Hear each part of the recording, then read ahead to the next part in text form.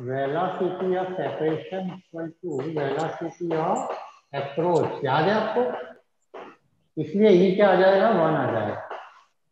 क्या आ जाएगा? E one then in elastic collision in elastic collision so, in an inelastic collision, velocity decreases because kinetic energy does not conserve. यानी V2 जो होता है, वो V1 से कम हो जाता है। क्या हो जाता है? कम। So inelastic collision is greater than zero but less than one and in perfectly inelastic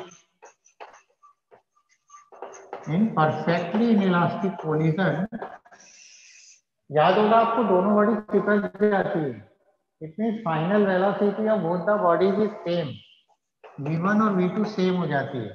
याद है ना?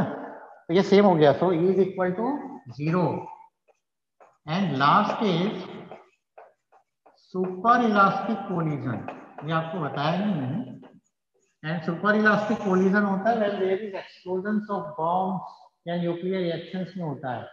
And where final velocity is always greater बहुत ज़्यादा।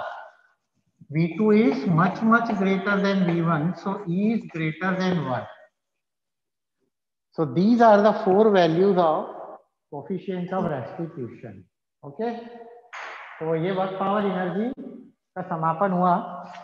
इसमें एक सेकंड डायमेंशन में भी है परफेक्टली इलास्टिक कोलिजन वो हम नहीं पढ़ेंगे। ओके बच्चों? या आया आपको?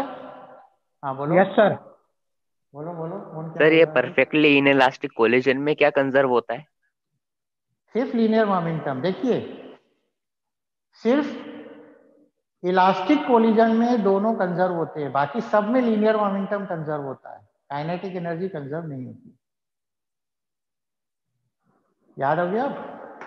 In elastic collision both momentum and kinetic energy conserve और linear momentum conserve in all the collision but kinetic energy is conserve only in elastic collision. बाकी किसी में नहीं हो इसलिए वेलोसिटी कम ज़्यादा होती है। अगर वेलोसिटी सेम हो यानी कंजर्व हो सो ओके थैंक यू बच्चों। Thank you very much thank you sir thank you sir thank you sir thank you sir thank you बच्चों। Thank you thank you sir and कर देता